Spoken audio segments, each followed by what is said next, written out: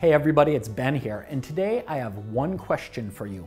What do you people want from me?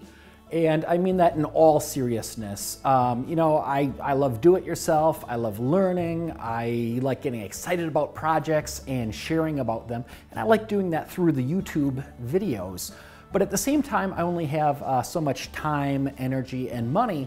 So if I'm continuing to make YouTube videos, uh, I want to sure, be sure to make videos that uh, make the best use of my time, energy, and money, and that those become videos that you want to watch, that you find them educational, that you find them entertaining, uh, whatever it is that you get out of my videos.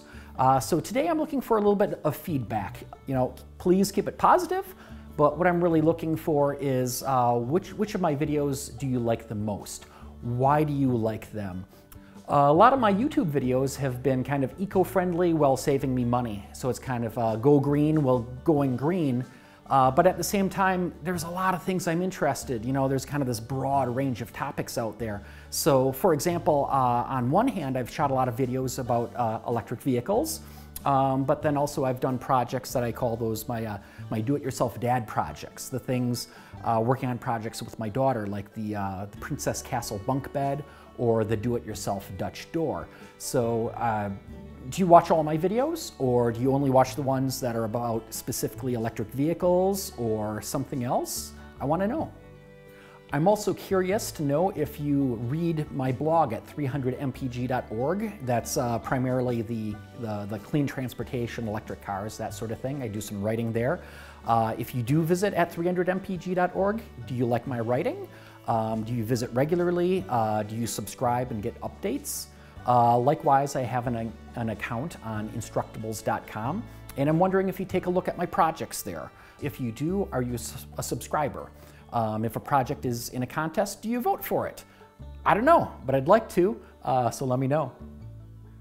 Uh, another interesting thing on my YouTube channel is almost half of all my views are from just one video. Uh, it's the video in which I drop a bowling ball on a bulletproof glass coffee table that I made. Um, I've got like 5 million views on that one video, and I think it's because of, of the gun nuts, people who are just really into guns. Uh, really liked that video. Um, also, it's a pretty short video. Um, it's short, something exciting quickly happens. Um, I also had uh, just a ton of views on it recently uh, at New Year's. And I think I just kind of got uh, lucky with little tagged words on that because uh, people were doing a web search for ball drop right before New Year's and it ended up going to my video where I drop a ball on the coffee table. Um, it, it's a fun video. I wish I knew how to make a ton more videos like that that you know people watch five million times. I don't know. Is that what you're looking for? Uh, do you want videos where you know something very quick happens like that? Uh, short videos, action oriented.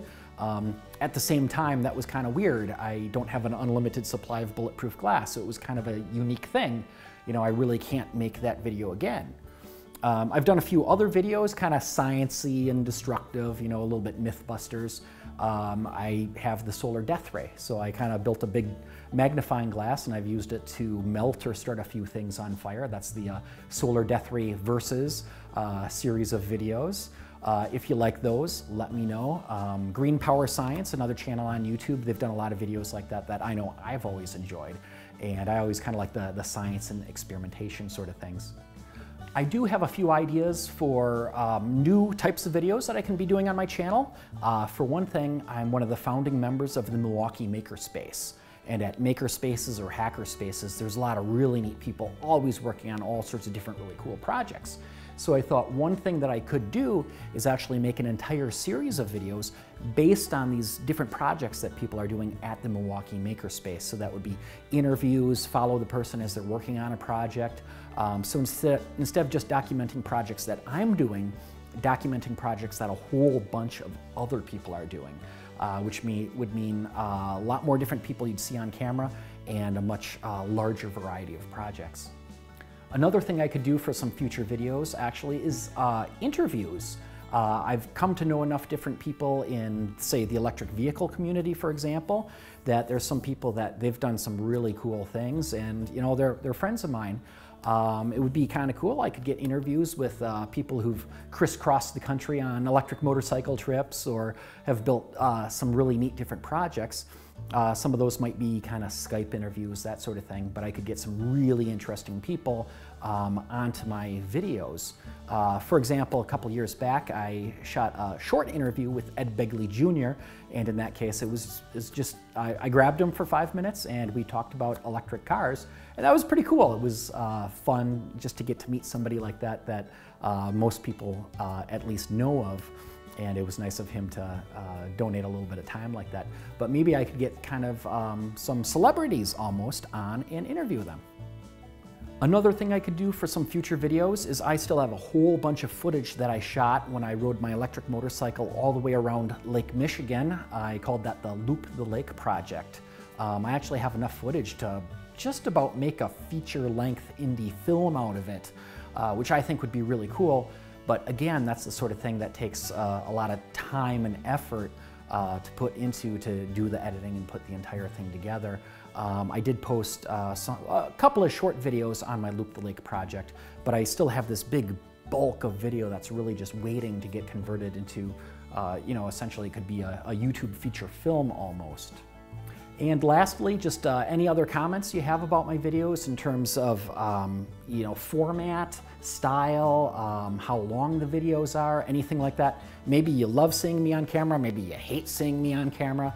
Uh, I mean, I've done a few videos where it was just pictures and background music. I've done videos like this one where I'm kind of over explaining everything.